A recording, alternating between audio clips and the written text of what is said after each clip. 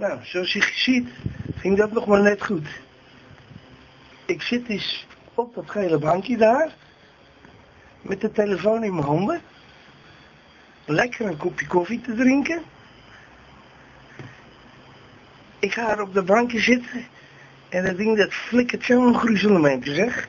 Nou, zo ben ik dus terechtgekomen. Ziet de koffie op mijn broek. De koffie nog in mijn handen. Koffie over mijn handen. Maar gelukkig is de telefoon nog heel.